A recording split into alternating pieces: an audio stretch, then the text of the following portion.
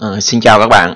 À, để tiếp theo cái chuỗi bài hướng dẫn về Photoshop cơ bản thì hôm nay mình xin giới thiệu với các bạn một bảng điều khiển rất quan trọng trong Photoshop đó là bảng layer.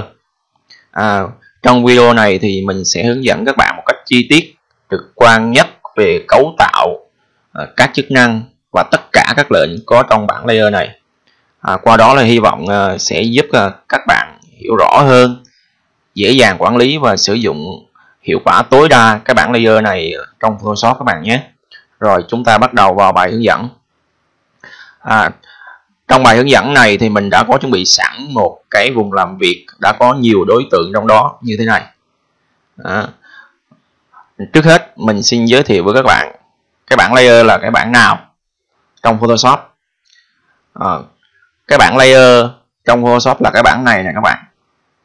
Các bạn nhìn vào con trỏ của mình này đó bảng layer là cái bảng này. Nó có tên là layer. Đó, nó có cái layer bảng đây và nếu máy tính các bạn mà mở lên mà các bạn chưa thấy cái bảng layer này thì các bạn vào trên thanh option các bạn vào window này, các bạn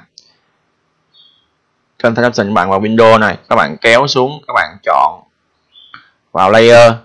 Phím tắt là F7 nhá. Rồi, cái bảng layer này các bạn cũng có thể di chuyển khắp vùng làm việc của chúng ta ở vị trí nào cũng được. Các bạn click vào cái cái vùng này, các bạn di chuyển bất cứ ở vị trí nào trong cái màn hình làm việc của chúng ta. Nhưng mình khuyên các bạn là nên để cái bảng layer này ở một vị trí nào thoáng và dễ quan sát nhất. Tại vì chắc chắn là các bạn sẽ sử dụng nó thường xuyên trong quá trình thao tác thiết kế của mình với Photoshop. Nha các bạn thường thì mình sẽ để nó ở vị trí này. Rồi. Để làm việc với bảng layer ờ, thì trước tiên mình nên hiểu khái niệm sơ về cái khái niệm về cái layer là gì. À, layer là một bảng điều khiển rất quan trọng trong Photoshop các bạn ạ. Rồi nó giúp chúng ta quản lý tất cả các đối tượng có trong vùng làm việc của chúng ta. À, về cấu tạo thì uh, trong bảng layer trong cái bảng layer này có chứa một hai hoặc có rất nhiều cái ờ, lớp layer khác nhau. Và tùy theo cái file thiết kế của chúng ta cái mục đích thiết kế của chúng ta mà layer mà ờ, cái bảng layer này nó có một hoặc là có nhiều ờ, layer nha các bạn. Có nhiều lớp layer nha các bạn. À, để các bạn hiểu rõ hơn về cái cấu tạo của bảng layer thì mình cũng đã có chuẩn bị sẵn một cái hình mô phỏng không gian 3 chiều tương ứng với cái vùng làm việc này của mình. Để các bạn dễ hình dung nhé. Rồi để mình mở cái hình đó lên nè các bạn vào file vào open để mình mở cái hình uh, mô phỏng của không gian ba chiều cho các bạn xem nhé để mình di chuyển mình mình kéo hai cái vùng này để nó sát nhau để các bạn nhìn cho nó trực quan để mình giải thích về cấu tạo của layer cho các bạn dễ hiểu nhé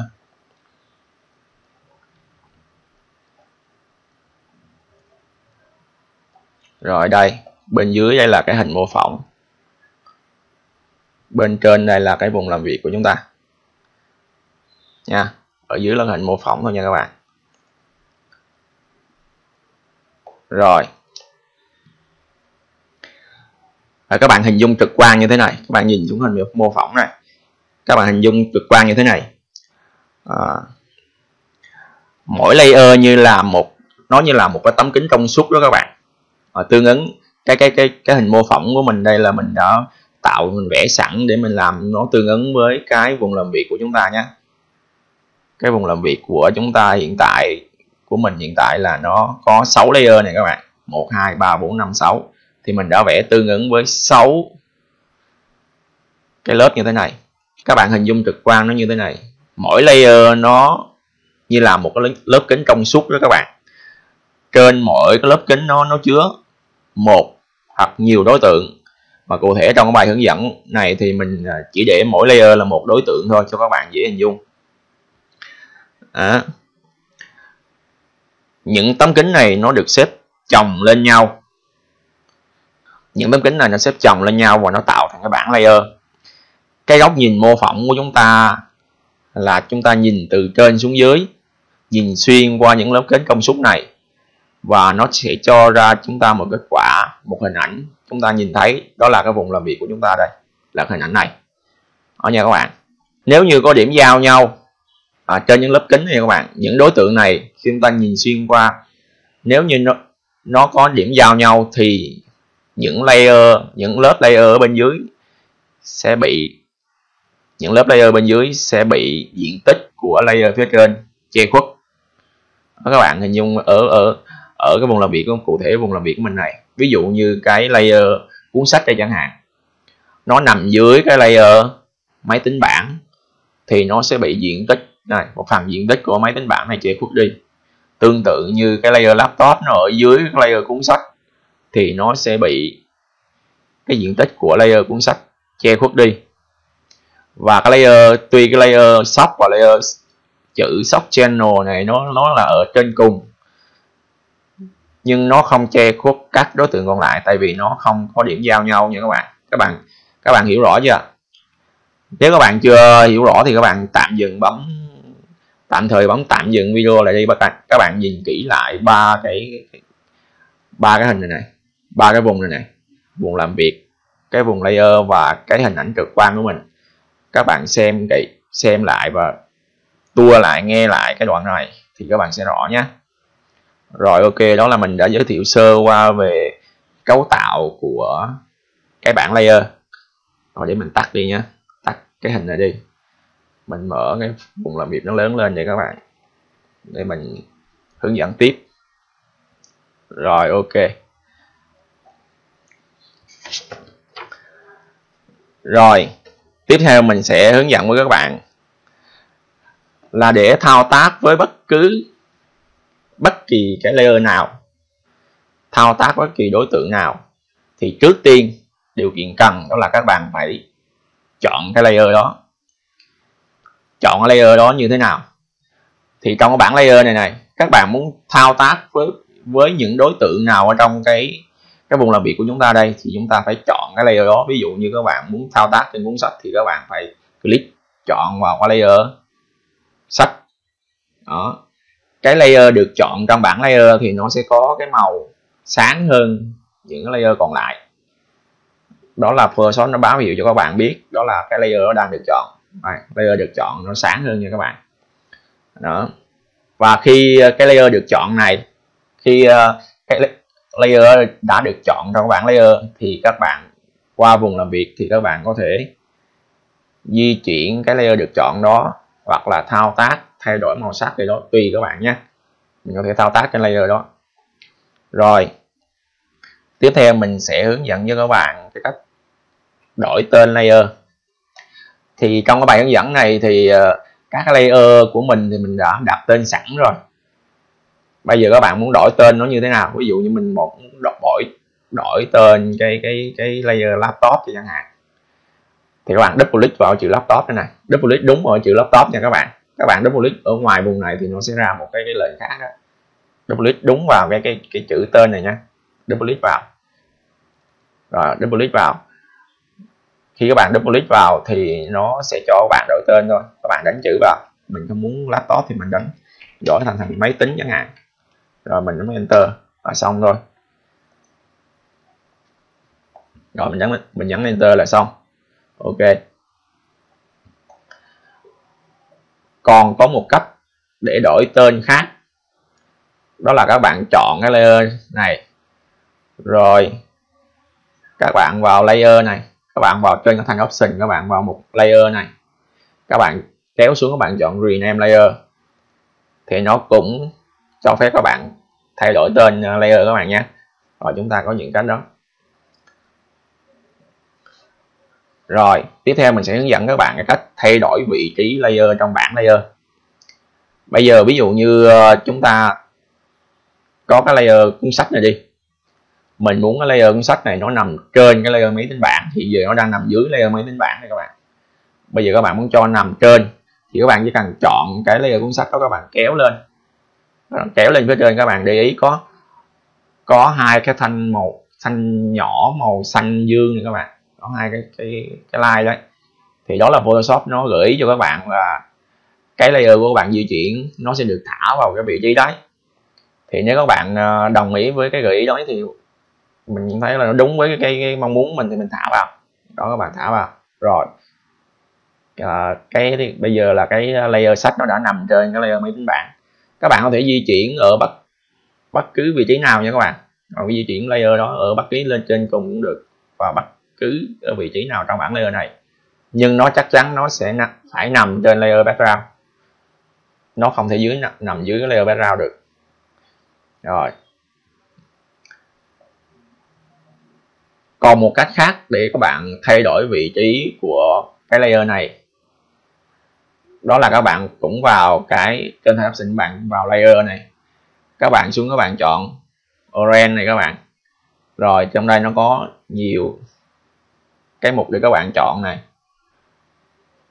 Bring forward là lên, trên, lên từng lớp layer. Các bạn lấy lên, nó lên từng lớp layer này. Hoặc là layer này range send password thì dưới layer này. Rồi, còn một cách nữa là chúng ta sẽ sử dụng từ bàn phím.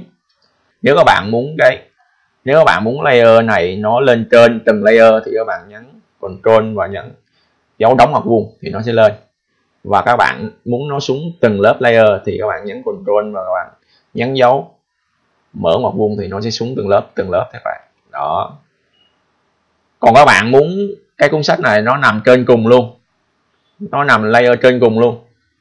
Mình không muốn nó nhảy từng bước từng bước như thế. Nếu các bạn có trong cái, cái file thiết kế mình có nhiều layer quá và các bạn nhảy từng bước như thế thì nó mất thời gian. Thì sẽ có một cách các bạn cho cái layer này nó nằm trên cùng luôn bằng cách là từ bàn phím các bạn nhấn Ctrl Shift và giống đóng hoặc vuông giống dấu đóng hoặc vuông đó các bạn. Thì nó sẽ lên trên cùng. Đó. Và ngược lại các bạn nhấn Ctrl Shift dấu mở hoặc vuông thì nó sẽ dưới cùng. À, nó nằm nhưng nó vẫn nằm trên cái cái layer background nha các bạn. Rồi. Và các bạn cũng có thể dùng ờ, các bạn cũng có thể vào đây cái option layer lúc nãy này, bạn chọn orange này. Nó cũng có nhiều cái lệnh, lên trên cùng và xuống dưới cùng này các bạn. Ờ, tùy các bạn tùy hoàn cảnh mà chúng, các bạn làm sao cho nó hợp lý nhất. Nhưng thường thì mình sẽ dùng phím tắt hoặc là di chuyển trong bảng này nó nhanh hơn các bạn. Rồi. Tiếp theo mình sẽ hướng dẫn các bạn cái cách tắt mở layer hẳn layer đây các bạn các bạn nhìn vào cái bảng ờ, cái cái bảng layer này, nhìn vào bên cái này, nó có những cái con mắt này các bạn. Những con mắt này là, nếu như layer nào nó có hình con mắt à, icon con mắt này, đó là layer đang được hiển thị. Mà khi ờ, nó mất cái con mắt này đi, tức là layer nó được tạm ẩn đi. Ví dụ như cuốn sách này, cái layer cuốn sách này các bạn muốn nó nó ẩn đi, thì các bạn click vào con mắt thôi nha các bạn, là nó ẩn đi. Nó tạm ẩn thôi nha các bạn, chứ không phải nó xóa đâu sau này các bạn muốn nó hiện lên thì các bạn là click lại vào cái cái cái vị trí icon con mắt này. Nó hiện ra con mắt thì nó sẽ nó sẽ hiện cái layer đó, đó lên thôi. Rồi ok đó là cách tắt mở layer. Hoặc là bây giờ trong trường hợp mà chúng ta có rất nhiều layer đi có hàng trăm layer chẳng hạn mà các bạn muốn thao tác các bạn muốn nhìn thấy mỗi cái layer cuốn sách này thôi các bạn ẩn tất cả các layer còn lại đi để để cái vùng làm việc của chúng ta nó thoáng. Chúng ta chỉ thao tác trên nó dễ thao, uh, thao tác trên cái cái, cái cái cuốn sách này. Thì bằng cách là các bạn uh, trên bàn phím các bạn ờ, uh, nhấn giữ cái nút internet á. Các bạn để con trỏ vào con mắt này. Các bạn click đó các bạn thấy chưa? Thì tất cả những layer còn lại nó sẽ tạm ảnh đi. Nó chỉ còn hiện lại cái layer cuốn sách thôi. Rồi bây giờ các bạn tự do thao tác trên cái cuốn sách này. Rồi sau sau khi chúng ta Ờ, thao tác xong trên cuốn sách chúng ta muốn các layer khác nó hiện lại như bình thường. Thì các bạn nhấn antenna này, các bạn click vào cái con mắt của cuốn sách này. Rồi, thì tất cả các layer khác nó hiện lại bình thường, các bạn nhé. Rồi, ok. Hoặc là cách ẩn layer này thì chúng ta vẫn còn một cách nữa, đó là các bạn cũng chọn layer đó mà các bạn vào cái trên thanh option các bạn. Chọn layer này, các bạn kéo xuống, các bạn chọn hai layer phím tắt nó là control và dấu phẩy đó các bạn. Đó các bạn click vào. Rồi nó cũng ảnh đi. Thường thì các bạn thao tác thao tác uh, trực tiếp trên cái cái cái thanh uh, layer này cho nó nhanh nha các bạn. Rồi mở lên. Rồi tiếp theo mình sẽ hướng dẫn cho các bạn cái cách xóa một cái layer như thế nào. Xóa một layer thì nó cũng có nhiều cách cái thứ nhất và nhanh nhất là các bạn chọn cái layer đó. Ví dụ như mình xóa cái layer máy tính bảng này chẳng hạn. Thì các bạn chọn cái layer nha. Rồi trên bàn phím các bạn nhấn delete. Rồi, layer đó đã được xóa. Đó là cách nhanh nhất để mình Ctrl Z lại. Cách thứ hai là các bạn chọn layer đó. Các bạn kéo xuống ngay kênh góc bên phải phía dưới của bảng layer này. Có thùng rác này. Các bạn kéo xuống các bạn thả vào. Thì nó cũng xóa nha các bạn. Đó là cách thứ hai và Ctrl Z cách thứ ba là các bạn cũng chọn layer các bạn click chuột phải. Các bạn chọn vào delete layer này các bạn. Nó cũng xóa layer. Nhưng mà nó sẽ hỏi các bạn là các bạn có chắc xóa cái bảng này không? Bạn có, có chắc là xóa layer này không? Các bạn yes thì nó xóa no thì không? Còn các bạn muốn nó nó không hiện các bạn hỏi này nữa. Nó đừng có hỏi nữa thì các bạn chọn vào nút đây các bạn xóa luôn. Rồi xóa. Ok. Rồi. Đó là cách xóa một layer rồi, tiếp theo mình sẽ hướng dẫn tiếp cho các bạn là cách nhân đôi layer. Tức là bây giờ ví dụ như mình có một à, cái à, đối tượng máy tính bảng này đi. Bây giờ mình muốn tạo ra nhiều cái máy tính bảng giống như thế này. Thì các bạn làm như thế nào?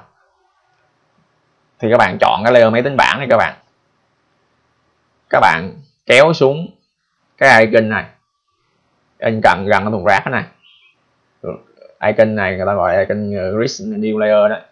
Các bạn kéo xuống, đó là cách thứ nhất, kéo xuống. Rồi, nó sẽ tạo ra cho bạn một cái layer mới, cái layer máy tính bảng mới, có tên là máy tính bảng copy.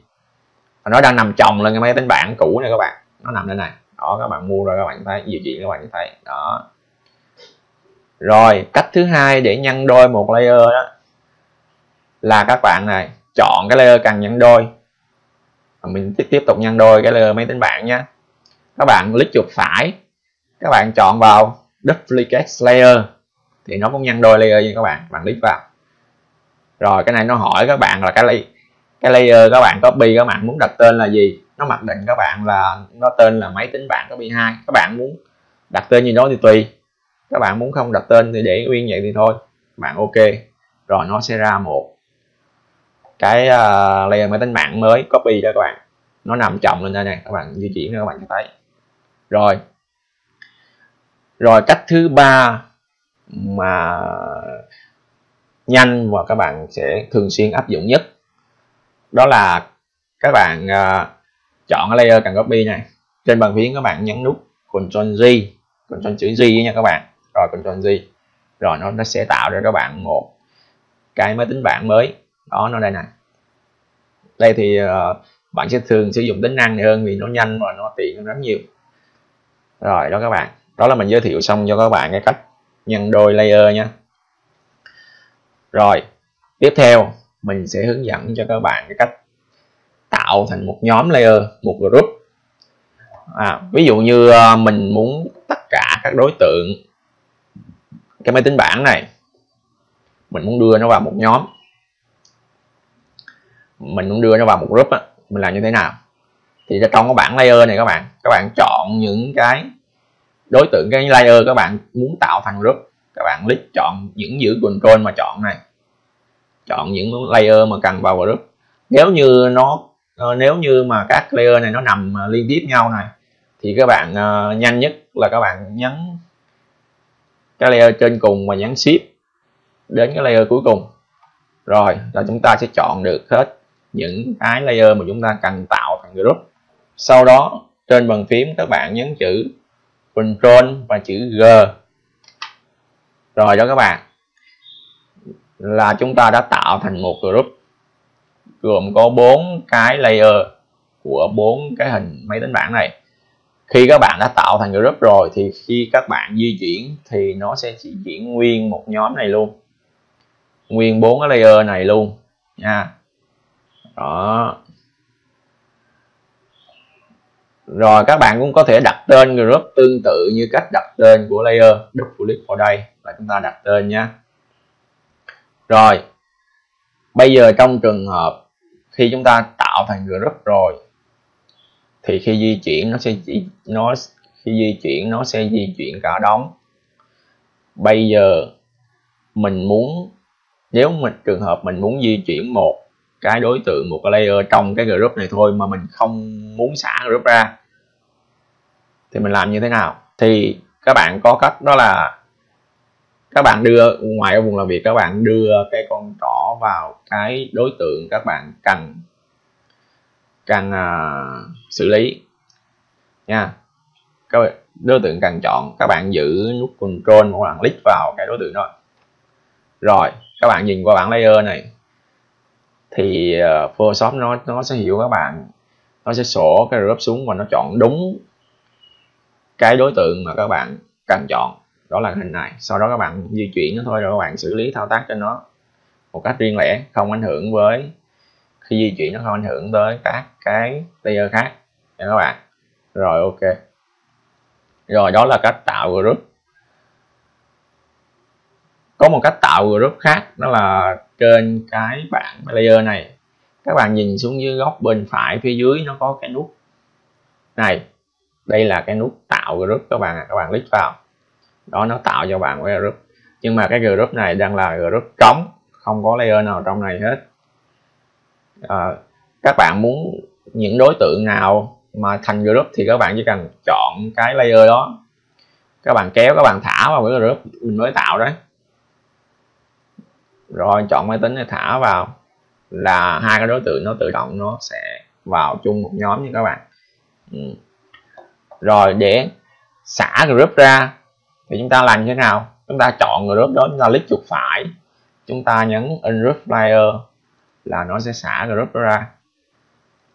Chọn group click chuột phải. Unroot layer thì nó sẽ xả cái group đó ra. Rồi, ok đó là mình hướng dẫn cách tạo group và xả group trong layer.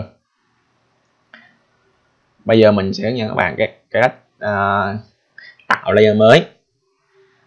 Tạo một cái layer mới thì chúng ta làm như thế nào? Tạo cái layer mới á thì các bạn nhìn vào bảng layer này các bạn nhìn ở góc bên phải phía dưới nó có cái icon này này đó cái icon sát cái thùng rác cái này. Icon này có tên là create new layer. Các bạn click vào thì nó sẽ tạo một layer mới cho các bạn nó mặc định cho các bạn là layer mới nó sẽ, sẽ có tên là layer 1 rồi sau đó thì các bạn từ layer này các bạn muốn vẽ vời gì trên cái layer lớp layer mới này thì các bạn uh, thao tác bình thường nha. Rồi để mình xóa đi. Rồi còn một cách tạo layer mới nữa là các bạn vào cái trên option các bạn muốn vào layer này các bạn vào new này các bạn. Vào new này các bạn chọn layer phím tắt là shift control n này, các bạn chọn. Nó cũng ra cho các bạn một layer mới mà nó hỏi trước trước hết nó hỏi là các bạn muốn đặt tên cái layer mới là cái gì? Thì các bạn đặt đặt tên tùy ý xong rồi các bạn ok thì nó sẽ ra các bạn một cái layer mới. Rồi. Ok. Đó là cách tạo cái layer mới. Bây giờ mình sẽ giới thiệu và hướng dẫn các bạn cái cách thay đổi cái layer background. Trong một cái cái file thiết kế thường thì chúng ta sẽ có một cái file background này. Đó là file nền nữa các bạn. Cái, cái file background thì thì nó sẽ bị khóa. Các bạn để ý này nó có ổ khóa đây. Tức là các bạn sẽ không thao tác được trên nó. Các bạn không di chuyển các bạn không có xoay được nó. Và các bạn cũng không thay đổi được vị trí của nó trong cái bảng layer này luôn. Các bạn không thể cho nó lên được. Nó phải nằm cố định ở dưới này nó nằm dưới cùng. Bao giờ layer background nó không phải nằm dưới cùng. Và để để thao tác được trên nó để thay đổi vị trí của nó được trong bảng layer thì các bạn phải biến cái layer background này thành cái layer thường. Thì cách thực hiện như thế nào? Cách thứ nhất nhanh nhất á, là các bạn click vào con nút ô khóa này này. Các bạn click vào. Đó đó đó là cách nhanh nhất là nó sẽ biến cái layer background thành cái layer bình thường. Nó tự đặt tên là layer không. Rồi, để mình control z lại. Và cách thứ hai á, là các bạn chọn vào layer background, các bạn cũng vào trên thanh option, bạn vào layer, các bạn vào new và các bạn chọn layer from background. Và nó sẽ hỏi các bạn là các bạn muốn đổi cái tên layer background là gì? Nó để mặc định layer không, các bạn muốn đổi thì các bạn đánh vào, còn không thì tùy các bạn. Ok, rồi, nó cũng đổi nha các bạn. Đổi thành layer không nhé rồi. Bây giờ nếu chúng ta từ một layer bình thường chúng ta muốn chuyển nó thành layer background thì như thế nào? Thì các bạn chọn cái layer này, các bạn vào trên thay option, các bạn vào layer, các bạn vào new các bạn. Layer này, các bạn vào new các bạn chọn background from layer. Các bạn click vào bạn. Rồi, cái layer được chọn nó sẽ biến thành layer background nha các bạn. Rồi, đơn giản thế thôi. Rồi, bây giờ à lúc nãy cái ờ, ở trong cái cái cái, cái phần đầu tiên mà giới thiệu về cái cách chọn layer đấy mình quên giới thiệu với các bạn. Lúc nãy mình nói cách chọn cái layer trong uh, cái bảng layer thì chúng ta click vào thì nó sẽ chọn đúng không? Nhưng mà còn một cái cách khác. Đó là các bạn nhìn trên cái cái thanh option này nó cái góc bên trái thì nó có cái nút auto select thì các bạn. Khi các bạn uh, khi các bạn click vào này click vào chữ auto này, này thì Photoshop nó sẽ hiểu với các bạn là các bạn chỉ cần đưa con trỏ vào cái vùng làm việc của mình. Các bạn muốn chọn cái đối tượng nào cái layer nào thì các bạn chỉ cần click vào cái layer đó. Là Photoshop nó sẽ tự hiểu là các bạn muốn chọn cái layer đó. Các bạn nhìn bên các bạn nó ờ, layer này mình click vào cái máy tính bảng này này click vào cái cuốn sách này đó các bạn thấy giờ nó tự động nó chọn cho bạn click vào logo này click vào chữ sóng này thì nó sẽ tự chọn, tự động chọn cái layer đó cho bạn bạn một click này thôi. Nó sẽ nhanh hơn.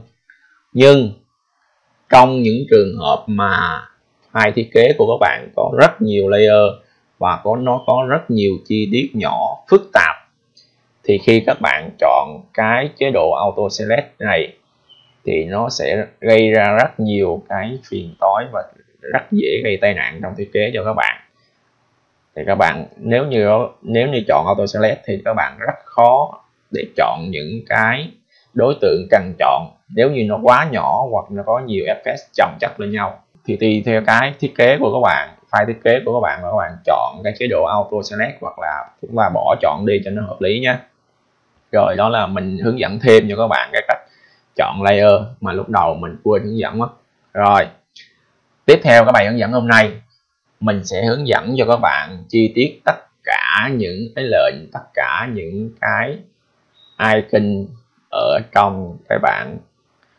layer này nha. Rồi, đầu, mình sẽ hướng dẫn từ trên xuống dưới. Đầu tiên là trong cái mục này. Cái mục có kính lúc chữ khai này. Cái này thì nó dành cho những file thiết kế mà có rất nhiều cái layer nó cái công dụng của nó là nó tìm nhanh layer ở trong cái bảng layer của mình. Này các bạn click vào đây nhấn nó sổ xuống. Cái ví dụ như các bạn uh, tìm theo tên layer chẳng hạn. Tên layer. Ví dụ như trong file thiết kế của mình mình có cả trăm cái nghìn cái layer chẳng hạn mà mình đã đặt tên mình đã nhớ đặt tên rồi nha mình nhớ tên nó như thế nào, mình muốn tìm cái layer, ví dụ mình tìm cái layer máy tính chẳng hạn.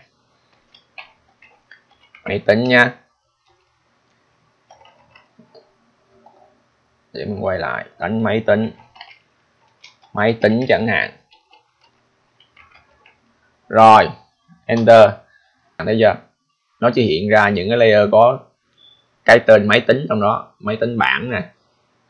Máy tính bảng copy, máy tính bảng copy này, nó sẽ có bốn cái layer có cái tên máy tính bảng. Đó các bạn, đó là cách hoạt động của nó. Hoặc là các bạn kéo xuống, các bạn chọn cái một effect này là nó sẽ tìm ra những layer mà nó có những effect mà mình chọn lên đây. Đó. Mục đích nó là tìm nhanh layer thôi các bạn, hoặc là chúng ta tìm theo màu sắc. Đó. Tìm theo, nói chung là rất nhiều cách tìm nhanh layer thôi các bạn. Còn các bạn bình thường thì các bạn chọn khai vô đây. Hoặc là các bạn cũng có thể thay vì kéo ở trong thanh này, chọn trong mục này thì các bạn nhìn ở ngoài những icon này này. Cái này là nó click vào cái này thì nó sẽ tìm những layer chỉ có là layer hình ảnh thôi. Những layer khác thì nó sẽ ẩn đi. Nó sẽ không tìm. Này, click vào hình ảnh nha. Rồi, nó chỉ tìm, nó chỉ hiện ra, bảng layer nó chỉ hiện những layer mà là hình ảnh thôi ví dụ như layer shock channel này là layer test này, thì trong bảng layer này nó sẽ không hiện ra. Đó là để các bạn tìm những layer hình ảnh. Hoặc là và đây list vào này thì nó sẽ tìm những layer list vào này những những layer nào mà có fs hiệu ứng. Trong tại bài hướng dẫn mình không có logo nào nó có fs thì nó sẽ không tìm ra cái layer nào hết. Hoặc là list bên này thì nó sẽ tìm những layer mà chỉ có có chữ thôi. Đó này nó ra layer chữ sóc channel này tất cả những layer hình ảnh còn lại nó ẩn hết. Rồi đây là tìm những layer vẽ bằng sáp. Cái layer nào vẽ bằng cái này thì các bạn thì nó hiện ra. Đó tương tự cái này là nó hiện những layer smart object. Những layer nào smart object thì nó hiện ra. Đó ví dụ như các bạn layer logo của mình đang là logo ở chế độ smart object này. Thì nó chỉ hiện cái logo cái cái, cái layer logo đó thôi rồi còn cái nút này là nút tắt luôn cái chế độ này luôn. Tắt luôn không cần tìm kiếm nữa. Mở lên. Đó. Rồi tiếp theo mình sẽ xuống tới cái mục này. À, cái mục này là để những cái lệnh trong này là nó để hòa trộn màu sắc giữa các layer lại với nhau. À, các bạn học trực qua mình uh, các bạn sẽ click vào đây thử thử xem là những cái mục tương ứng trong này thì các bạn nhìn vào cái mục làm việc thì nó thay đổi như thế nào nhé rồi, rồi qua đó các bạn sẽ rút ra được cái bài học là cái cái cái cái lệnh đó là nó để làm gì. Học Photoshop là các bạn phải thực hành thường xuyên đấy các bạn. Còn các bạn học phải trực quan. Còn các bạn khi nói thì các bạn không hiểu hết được đâu. Các bạn phải thực hành từng lệnh một như thế này này mình click vào đây thì mình xem nó như thế nào thì các bạn sẽ tự hiểu cho mình là cái sau này quá trình làm việc thì các bạn sẽ hiểu là nó như thế nào thôi. Nha. Rồi, tiếp theo qua một bên này. Tiếp theo qua một cái cái mục bên này, bên phải đây là cái mục opacity. À opacity là gì? Opacity là cái độ trong suốt của cái à, đối tượng. Ví dụ như mình chọn cái layer máy tính đi nha. Các bạn click vào cái opacity nó hiện ra các bạn một cái thanh như thế này. Hiện tại cái máy tính này ở chế độ trong suốt là 100% nó là ở chế độ lớn nhất, các bạn kéo cho nó, các bạn giảm giá trị nó xuống này. Thì các bạn thấy nhìn cái máy tính kìa, nó, cái độ trong suốt nó sẽ tăng dần lên. Và khi các bạn kéo nó về không thì nó sẽ biến mất luôn hẳn luôn. Các bạn kéo càng cao thì cái độ trong suốt nó càng giảm lại và nó sẽ hiện máy tính ra rõ ràng hơn. Đó đó là cái công dụng, cái cách hoạt động của cái opacity rồi, ở dưới đó là cái mục fill. Fill này là cái công dụng như thế nào? Để biết công dụng của fill như thế nào thì mình sẽ tạo một cái hiệu ứng cho một cái đối, một đối tượng trong này để các bạn rõ nhé. Bây giờ ví dụ có, để mình tạo cho cái logo này đi. Mình tạo cho nó một cái viền nha cái viền cho nó màu vàng đi cho dễ thấy. Ok. Rồi, ok rồi để mình chọn vào một fill này nha. Fill nó cũng là giảm nó cũng là cái độ trong suốt của hình ảnh thôi các bạn chứ mà nó khác với opacity bên trên. Rồi các bạn kéo là mình bạn sẽ sẽ hình dung ra nè các bạn giảm giảm cái fill lại nha, các bạn nhìn cái logo kìa các bạn. Nó cũng trong suốt xuống nha. Đó. Các bạn các bạn để ý cái cái cái viền của logo kìa. Nó vẫn giữ nguyên nha các bạn các bạn kéo tăng nó chỉ tăng, giảm cái độ trong suốt của cái logo bên trong thôi. Còn cái viền của logo nó vẫn giữ nguyên. Như vậy, tức là cái lệnh này, nó chỉ giảm cái độ trong suốt của đối tượng. Còn những cái fs cái hiệu ứng của cái đối tượng đó, nó không thay đổi. Đó là cái cách hoạt động của cái mục fill này nha các bạn. Nó chỉ giảm cái độ trong suốt của đối tượng thôi, còn fs bên ngoài nó không thay đổi. À rồi, tiếp theo mình sẽ hướng dụng hướng dẫn các, hướng dẫn các bạn cái nhóm này. Cái nhóm này là cái nhóm để khóa đối tượng các bạn, nó có chữ lock này, là để khóa đối tượng. Bây giờ mình sẽ hướng dẫn từng cái nhé mình hướng dẫn cái đầu tiên, cái này. Khi các bạn click vào cái này thì nó sẽ hiện cái layer được chọn đó. Nó có ổ khóa bên cạnh. Cái khóa này, cái công dụng của nó là nó khóa cái vùng transparent vùng trong suốt xung quanh đối tượng các bạn. Cái đối tượng máy tính này, cái layer máy tính này. Nó là à, nó là một lớp layer. Hình ảnh, cái phần, đây là cái phần hình ảnh nó, còn cái phần xung quanh của nó là một lớp trong suốt nha các bạn. Mình xuyên nhìn xuyên qua đường này. Nó là một lớp trong suốt. Khi mình chọn cái lệnh này thì Photoshop nó sẽ hiểu là mình sẽ khóa cái vùng trong suốt phía ngoài này là các bạn không thao tác gì được ở bên ngoài các bạn không vẽ vời gì lên được nhé để mình thử này. Mình chọn một cái cọ này.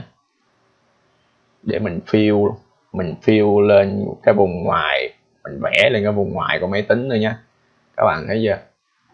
Vẽ không được các bạn ạ. À. các bạn chỉ được phép vẽ trong cái vùng, cái diện tích của cái máy tính này thôi, các bạn thấy chưa?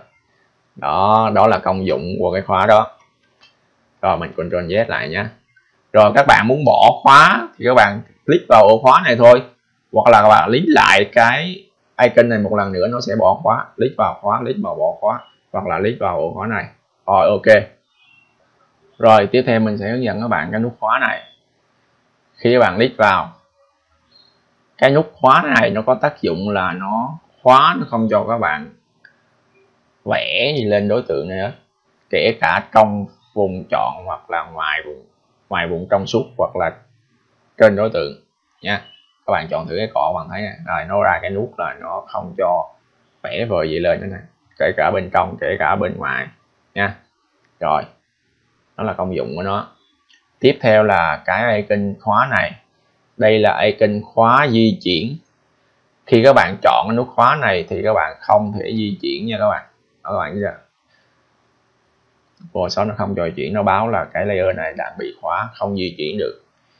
Nó chỉ khóa không di chuyển thôi, nhưng các bạn vẫn có thể vẽ vời lên nó được bình thường nha. Nó chỉ khóa di chuyển thôi. Rồi, chúng ta bỏ khóa đi. Tiếp tục qua cái nút khóa này. Nút khóa này là nút khóa khóa layer, tắt layer khi các bạn tạo ra một artboard. Tạo artboard là cái gì? Khi các bạn click để mình tạo nó khóa cho cái cái layer máy tính này nhé khóa đây. Tạo bo là các bạn vào đây này. Các bạn vào new bo nha rồi đặt trên bo rồi các bạn thấy cái máy tính mình nó bị mất đi đúng không bạn nó mất cái máy tính đi. Cái ờ, uh, bo của vùng làm việc này thì nó nó tạo ra nhiều file thiết kế trong cùng vùng làm việc nha các bạn. Nó nó nó phục vụ nhiều cho các bạn công việc, các bạn làm thiết ghế về giao diện đấy chỉ diện web cho diện điện thoại gì đó, hoặc là những cái phần thiết kế mà nó có các bạn muốn ờ, nhiều cái cái cái file thiết kế nó hiện trên cùng nguồn làm việc của mình thì các bạn ờ, tạo appo này thôi. Rồi các bạn vào đây này. Đó. Mình mình chỉ nói sơ qua appo thôi, còn còn ờ, mình sẽ có video hướng dẫn cái cụ thể hơn nhé mình chỉ hướng dẫn cái cái cách khóa của khi tạo bo thôi. Đó, cái nút khóa lúc nãy đó các bạn, là lúc nãy chúng ta chọn cái máy tính rồi chúng ta chọn nút khóa này á, là khi chúng ta tạo nó thành, chúng ta tạo bo thì cái máy tính này nó sẽ được khóa các bạn. Các bạn thấy chưa? Nó ẩn luôn. Đó, các bạn có tắt cái này các bạn cũng không thấy nó đâu. Đó là công dụng của nó là khi nó sẽ khóa khi tạo bo thôi. Và còn trên Z lại nhé. Rồi ok. Và chúng ta bỏ khóa đi. Rồi cái khóa cuối cùng này là cái khóa cho tất cả những cái khóa đằng trước. Các bạn muốn khóa tất cả những, cái, những cái cái, cái cái khóa này luôn thì các bạn click vào đây là nó sẽ khóa tất cả. Không vẽ vời không di chuyển gì được hết. Không tạo bo gì hết. Khóa hết ra à, nó khóa ở đây nó cũng cũng tương nó cũng gần tương tự như là nó là layer background rồi đó các bạn chứ mà nó chỉ khác layer background là các bạn có thể di chuyển nó ở bất cứ ở trong ờ, cái bảng layer này thôi. Còn các bạn không ờ, không có di chuyển nó làm gì được hết. Rồi chúng ta bỏ khóa đi. Rồi, đó là mình đã giới thiệu xong cho các bạn cái nhóm khóa layer. Và tiếp theo ở dưới này, cái icon mắt xích này là cái gì? Icon mắt xích này là icon để liên kết các layer lại với nhau nó tương tương tự, nó giống giống như là group đúng các bạn. Chứ mà nó không tạo thành group ví dụ như các bạn muốn, ví dụ như các bạn muốn cái layer máy tính này, nó liên kết với cái layer logo chẳng hạn, thì các bạn control giữ hai cái layer đó với nhau. Các bạn chọn vào cái icon mắt xích này này là Photoshop. Nó sẽ hiểu các bạn muốn liên kết hai thằng này với nhau khi các bạn di chuyển thì hai thằng này nó sẽ di chuyển cùng một lúc. Nha các bạn. Đó đó là cái công dụng của cái icon max đó. Rồi các bạn muốn bỏ cái icon max này ra, muốn bỏ cái liên kết của hai thằng thằng này ra thì các bạn chọn hai cái layer đó, các bạn click vào lại cái icon max này thì nó sẽ bỏ. Ok. Rồi, đó là công dụng của cái đây là layer max à, cái icon max này. Tiếp theo cái icon fx cái icon fx này trong này nó bao gồm những lệnh để tạo khối tạo bóng và tạo viền cho đối tượng nha các bạn. Khi các bạn uh, click các bạn các bạn thực hành các bạn uh, làm trực quan thì các bạn click vào các bạn xem thử nhé ví dụ như các bạn scrub này viên này chọn màu viên này. Rồi các bạn click tất cả những cái bên này các bạn xem một đối tượng này các bạn có thể áp dụng cho tất cả các lợi bên này luôn nhá. Nó vừa stock và vừa uh, đây này nó vừa inter cloud chẳng hạn. Và các bạn kéo thử thử là nó như thế nào. Đó các bạn chọn hết trong đây. Học Photoshop hoặc học bất cứ phần mềm nào các bạn cũng cũng nên học trực quan như thế các bạn nó sẽ rất là nhanh hơn. Bạn phải mò nhiều vào thì các bạn mới mới tiến bộ được chứ không có sách nào mà mà nổi hướng dẫn rõ cho các bạn đâu. Các bạn không thực hành thì các bạn không làm được đâu. Đó mình mình chỉ giới thiệu cho các bạn là cái icon này nó bao gồm những cái lệnh để tạo bóng, tạo viền, tạo khối cho đối tượng nha. Cái công dụng chính nó là thế. Rồi, tiếp theo cái icon bên cạnh. Icon đây là icon để tạo mặt nạ các bạn. Tạo mặt nạ là gì? Layer mask tạo mặt nạ là chúng ta tạo một cái lớp để che bớt bớt một phần của đối tượng hoặc che hết đối tượng. Ví dụ như ờ, cái laptop này, mình muốn che cái, muốn che một phần hình ảnh này, mình không muốn thấy một cái góc của máy tính này chẳng hạn, thì các bạn click vào layer mask này nhé để che cái phần hình ảnh trong layer mask thì các bạn bạn chọn cái layer mask này. Các bạn, nếu các bạn vẽ lên cái vùng nó màu đen, thì Photoshop nó sẽ hiểu là cái vùng đó sẽ được ẩn đi. Đó các bạn vẽ màu đen này cái vùng đó sẽ được ẩn đi. Xóa đi. Ẩn đi. Rồi, nếu các bạn vẽ vùng màu trắng vào, ví dụ như các bạn xóa nó quá tay, các bạn muốn lấy lại một phần trong này thì các bạn chọn cái layer mask này, các bạn lại vẽ vào cái vùng màu trắng càng lấy lại này đó và vẽ màu trắng lên thì nó sẽ lấy lại cho bạn. Đó. Cứ vẽ màu đen là nó sẽ che đối tượng còn vẽ màu trắng thì nó sẽ hiện đối tượng ra. Đó các bạn hiểu nhé còn về cái layer mask này thì nó nó nó dạng nâng cao. Các nó sẽ sử dụng nhiều cái cái phức tạp hơn nữa.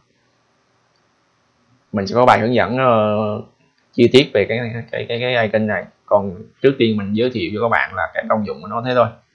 Rồi các bạn muốn xóa cái layer mask thì các bạn chọn chọn con layer mask này các bạn kéo xuống thùng rác nó xóa thôi. Rồi các bạn nhấn up apply và nó xóa nha. Tiếp theo là icon này là icon tạo group lúc nãy là mình giới thiệu rồi. Đây là icon tạo layer mới đây là icon xóa layer thế thôi. Rồi à, cơ bản là mình đã giới thiệu với các bạn xong uh, về chi tiết về các uh, công cụ cũng như là các uh, cụ của các layer. À, hy vọng uh, cái ờ, video này này sẽ giúp ích nhiều cho các bạn ờ, mới tìm hiểu và mới học về Photoshop. Nếu các bạn thấy video mình hay thì các bạn nhớ nhấn ờ, nút đăng ký kênh để theo dõi những video mới nhất của mình về Photoshop căn bản cũng như là các video khác về Photoshop bạn nhé. À, cảm ơn các bạn đã quan tâm theo dõi. Chào các bạn.